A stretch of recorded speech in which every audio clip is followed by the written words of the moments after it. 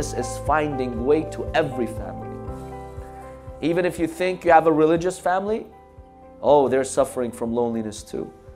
So we need to be aware of the dangers and the causes.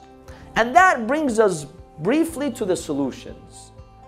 What are some solutions that we can offer when it comes to loneliness? Number one, increase that human interaction.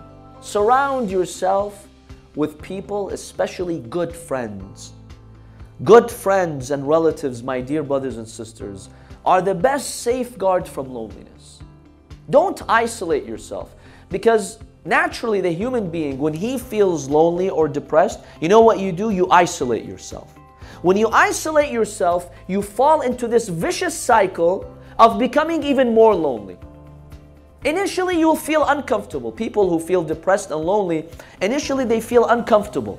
They don't want to meet people. They they don't want to be around people. Force yourself and surround yourself with friends. That in itself will help you. It's very difficult. But once you try it a few times, you will realize that you will be able to control your loneliness. And make sure that those friends whom you choose are loyal, good friends, not any friend. Sometimes disloyal friends, dishonest friends, bad friends can even make you worse. I had a friend, you know, about 10 years ago or more that I got to know him in Florida. I was there for a program during the month of Ramadan. And he told me about his very tough experience with his friends. He was very generous with them. If any of his friends was down, he would help them out. He would show them how to start a business. He would even loan them money. He was very generous with them. And he really thought that these friends were honest friends who would be there for him. He didn't pay attention that they were just there to use him and take advantage of him and benefit from him. He missed that point. Years later, things changed for this brother. He gets into an accident and that has an impact on his health and he runs into a number of issues. He goes financially broke. When he becomes financially broke, after being very well off, he contacts some of those old friends whom he saved. And through him, they became rich. He contact, contacted them one by one asking them to help him out like he helped them, asking them to give him a loan, to help him start a business again. Not a single of his friends stood up for him. Not a single one. He was hit with severe depression and loneliness. He said, You know what? I didn't choose my friends wisely. Some warned me, I didn't pay attention. Some warned me that these people are not really your friends. They're just there, there to take advantage of you. Choose honest friends. You have a genuine friendship with them. That way you can count on them. When you fall, you can count on them. Surrounding ourselves with good friends, my dear brothers and sisters, is very important when it comes to combating loneliness and protecting yourself from loneliness. That's one thing that we can do. Another way to protect yourself from loneliness is through generosity and volunteerism. This has been proven through many, many studies. You know, they call generosity, if there's a pill for happiness, it's generosity. When you give, there's a part in the brain, it's called the mesolimbic system. When you give an act of charity, when you give to someone, this part of your brain produces hormones that make you happy. SubhanAllah, look at the creation of God. Allah has made it easy for you to give. Makes you feel good. In fact, there was one researcher, he did a study. He took out gift cards and he experimented this. The first group of people, he came and he gave them the gift cards. So they received benefits, they got a gift. He wanted to see which one generates more happiness. He says, Those whom I gave the gift cards, Initially, they were very happy. You know, when you get a gift, you feel happy, right? When I gave them those gift cards, temporarily, within the next few hours, their happiness increased. But then at night, he followed up with them to see their happiness that night before they slept. That happiness was gone, the effect had gone. It was momentary happiness, two, three hours. They enjoyed getting that gift card and then back to normal life. Then he tried a second experiment. He gave these gift cards to a group of people and he told them, Go and give these gift cards to the poor.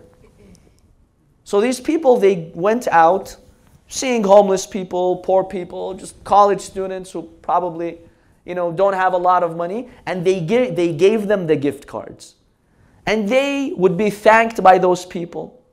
You know, they would get a smile. Then they measured their happiness that night. They saw their rates of happiness were significantly higher than group number one who received. Now, you would think that getting benefits from people makes you more happy than giving, but that's not what science says. Science says giving makes you more happy than receiving. And that's the beautiful system of Allah subhanahu wa ta'ala. Volunteering, giving from your time, not only giving from your money, but giving from your time, is the best protective measure from loneliness and depression. One study was done on Americans, and they found that those Americans who volunteered five to six hours a month compared to those who did not volunteer, they were 5.8 times more happy in their life. 5.8 times happier. Just through volunteering. And Allah subhanahu wa ta'ala in the month of Ramadan teaches us that. The spirit of volunteerism. This is one way to protect yourself from loneliness and depression. Get your family involved. Every one of you volunteer. Give from your time. That helps you. You're the first person who will benefit. Another way to protect ourselves from loneliness, my dear brothers and sisters, is to travel. Yes. As they say, you know, traveling is food for the soul. It really is. And the best place you can go to with your family and children is for ziyarah. If you have the habit of going once a year, once every two years with your family to ziyarah, that in itself, my dear brothers and sisters, will play a significant role in protecting you from loneliness and depression. The Imam salam, according to one hadith, it's a beautiful line of poetry in which the Imam says, travel. There are five benefits to traveling. One of them is that it removes your misery, makes you feel better. It reduces that depression and loneliness. And he mentions a number of other benefits, you know, gaining new knowledge, gaining a new experience, meeting other nations. There are many benefits. I see sometimes families, five, ten years pass by, they have not taken a trip to ziyarah. Why? What's your excuse?